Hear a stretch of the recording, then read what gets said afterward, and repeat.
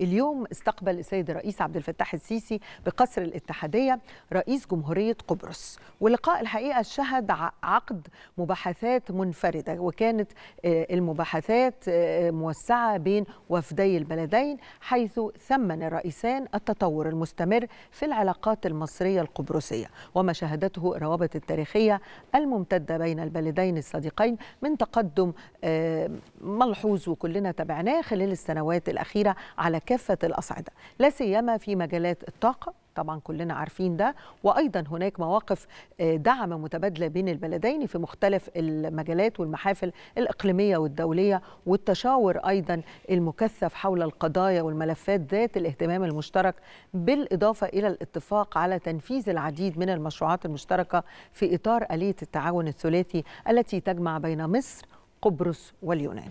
وبتعد الحقيقة زي ما أنتم شايفين هذه العلاقات نموذج يحتذى به في التنسيق والتشاور بين دول البحر المتوسط مع تأكيد دلالة أيضا يعني اختيار الرئيس القبرصي للقاهرة كوجهة يعني الوجهة الخارجية الأولى للمنطقة. هو دايما بيشوف ده وأيضا السياسة القبرصية بتشوف ده. وذلك منذ انتخابه في فبراير الماضي وهو ما يعكس الحرص يعكس تماما الحرص على استمرار الطابع والعلاقات الاستراتيجية بين البلدين الصديقين على المستويين الرسمي والشعبي.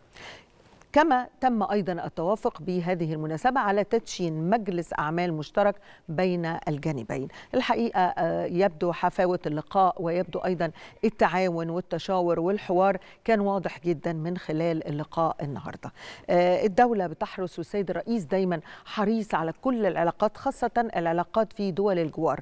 وبالنسبة أيضا لدول البحر المتوسط لأنه كمان المشروعات اللي موجودة مشروعات الغاز والكهرباء وكل المشروعات الموجودة أيضا أيضا بين قبرص واليونان. مصر حريصة عليها والصورة النهارده كانت بتؤكد على هذه العلاقات.